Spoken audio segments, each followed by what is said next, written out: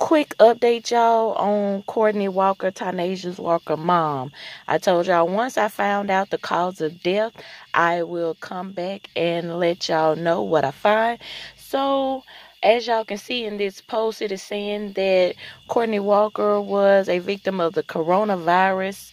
So again, you know, condolences go out to everybody that's losing, you know, life to the COVID 19 or whatever the hell they are trying to kill us with.